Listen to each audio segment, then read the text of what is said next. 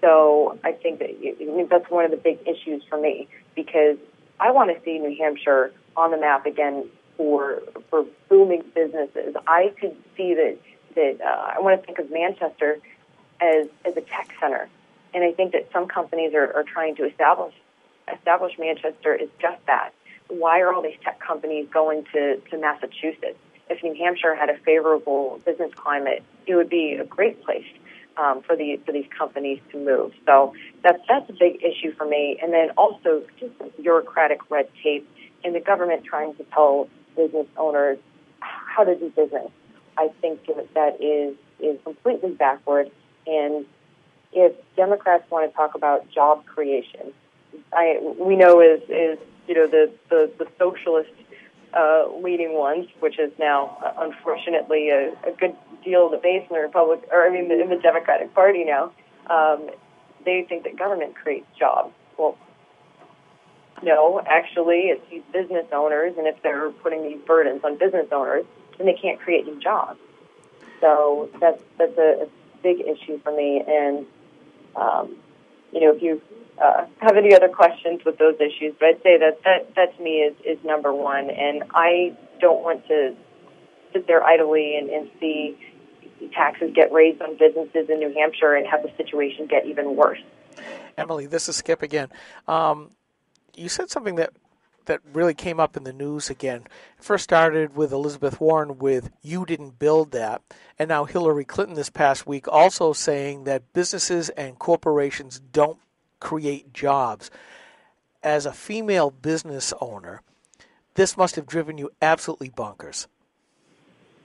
Oh, absolutely. I that that sickens me. As I was saying, that feminism, which has been you know taken over by Democrats, and and they want to talk about female empowerment. I I struggling to find uh, how they how they can rationalize saying that that corporations or business owners don't don't provide jobs and that somehow female empowerment is is you know trying to make a, a, a buck off the government and and you know being on all these these assistance programs. That's not empowerment. And you know, again, Democrats have gotten more and more radical. It used to be, oh well, these programs are, are just a a stepping stone, and now it is, you know, what they're what they're saying is that it, this is uh, a foundation for a lot of people's lives.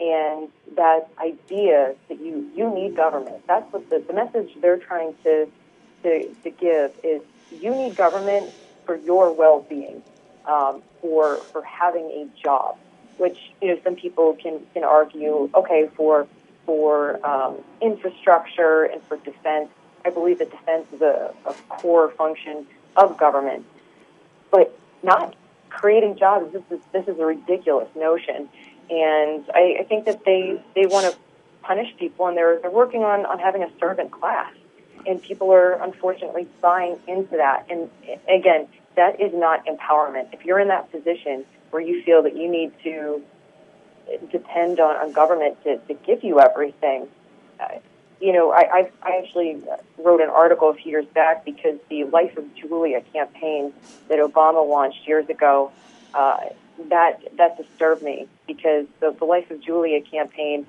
shows this woman from from cradle to grave, depending on government for her well-being, and it's funny how, again, feminism is a, is supposed to be about bringing women up, and I want to see more women in politics and in business. And it it seems that they want to see fewer women in in these fields. And uh, you know, what's the difference between financially depending on a, a man for your well-being or depending on the government?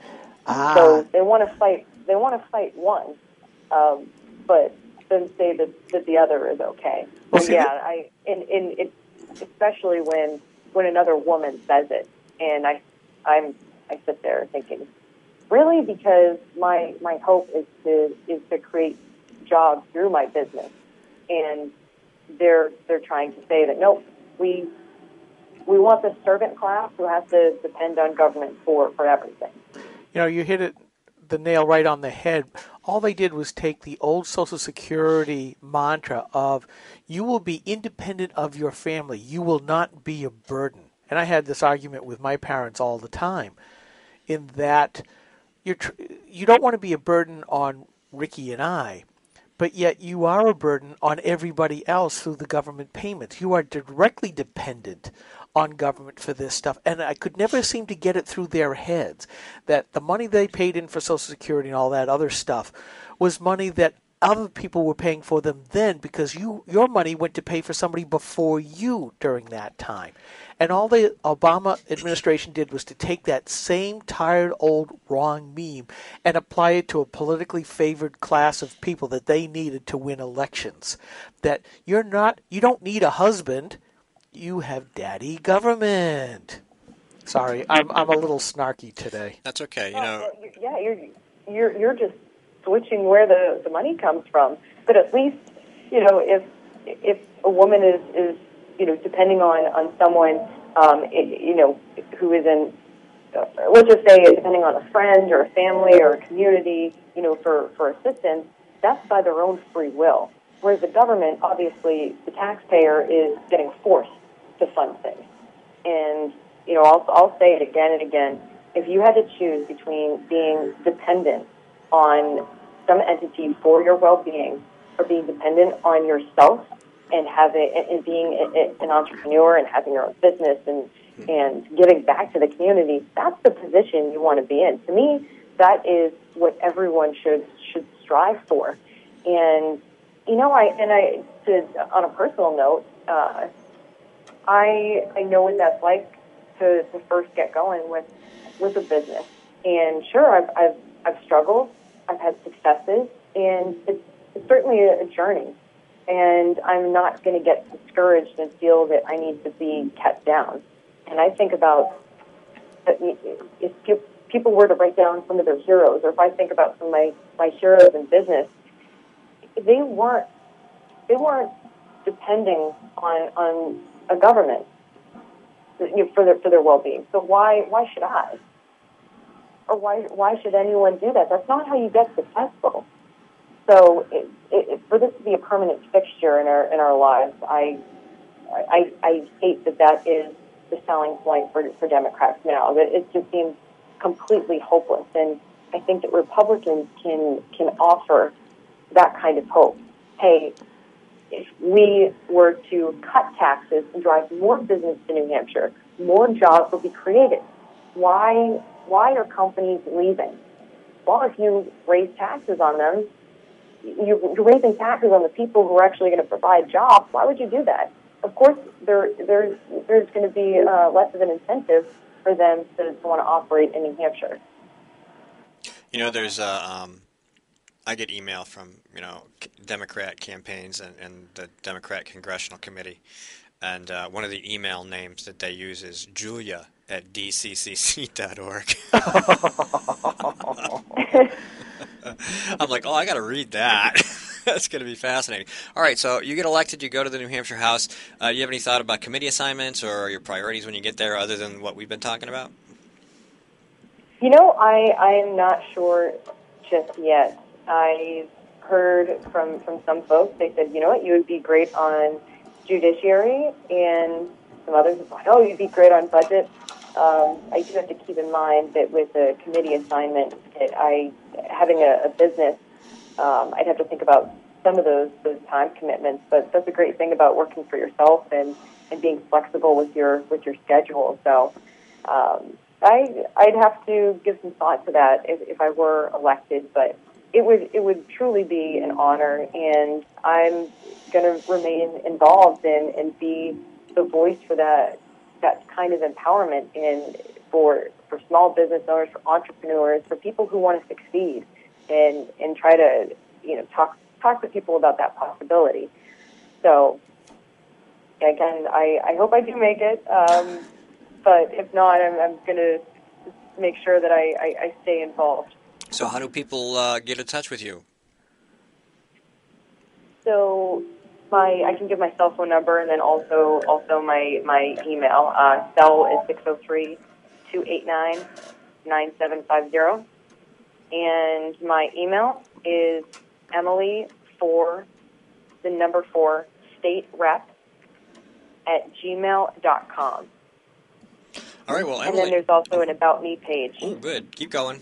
Sure, so it's, it's about.me and forward slash Emily O'Neil. Okay, we'll try to look those up and include them with your segment um, when we put your podcast up, which will be. I'm going to have to hustle because I got to get these up before the actual election, because Yeah, otherwise that there's really not a lot of point to posting them Wednesday or Thursday. Doesn't do us a lot of good. Uh, Emily, thank you so much for taking some time to talk to us. Oh, thank you so much for having me on the show. It's been a pleasure. All right, you have a great day. You too. All right, thank you. Take care. Bye-bye. All right, that was Emily O'Neil. She's running as a write-in candidate in Bedford, New Hampshire. Uh, for those of you in the party who are familiar with Bill Grenier, um, she is his bane, so you should go vote for her. Yes. he doesn't support her. No, I mean, and she's absolutely right. Where the Republican Party is going more to the middle, uh, under the misguided idea that we can throw away our present base and get a new base. A Uh, new base that votes for Democrat. Yeah, yeah. Although this year may be different, but we'll find out. Well, they might just not vote.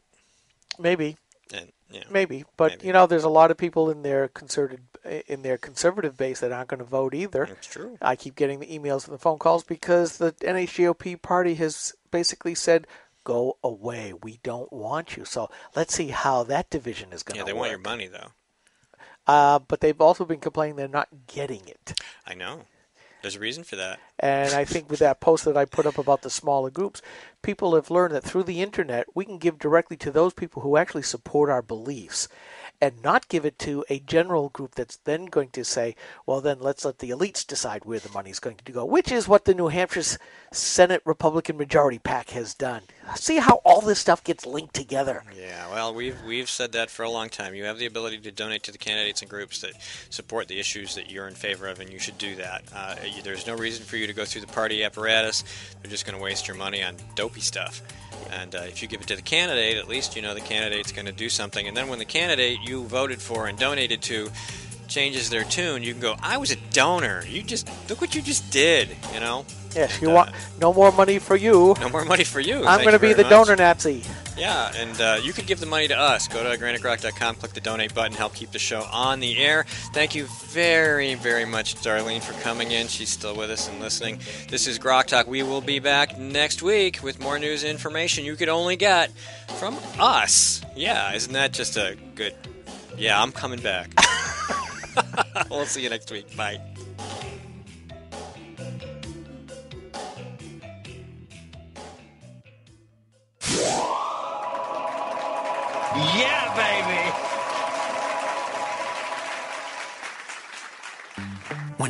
Whether she still supports Obamacare, Senator Jeanne Shaheen said, Yes, I do continue to support the law. We're beginning to see some positive results. How can Senator Shaheen say we're seeing positive results when 22,000 of our neighbors have already lost their health insurance? What's worse, the Boston Globe reports the state's only health insurance provider radically reduced the number of hospitals in their network, forcing some people to drive over an hour for lab work, even when there's a hospital within a few miles of their home.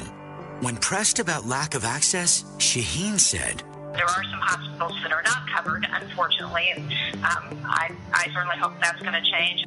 Jeanne Shaheen promised us we could keep our doctors and our healthcare coverage. Now she hopes we can get to a local hospital? Call Senator Shaheen at 603 647 7500. Tell her we need more than hope. We need leadership. Paid for by Citizens for a Strong New Hampshire. Senator Jeanne Shaheen said, if you like your current health plan, you can keep it. That's not true, Senator. 22,000 New Hampshire citizens have been kicked off their insurance plans. Hospitals in Rochester, Concord, and Portsmouth, they aren't allowed to provide care under the exchange. Senator, you were wrong in your comments. You should apologize for your misleading remarks. I'm calling Senator Shaheen at 750-3004 and telling her I want my doctor back. You should too. Paid for by saberpack.org, not authorized by any candidate or candidate committee.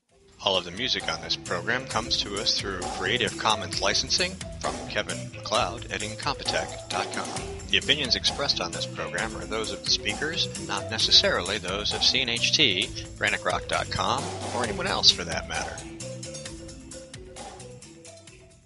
Grok Talk.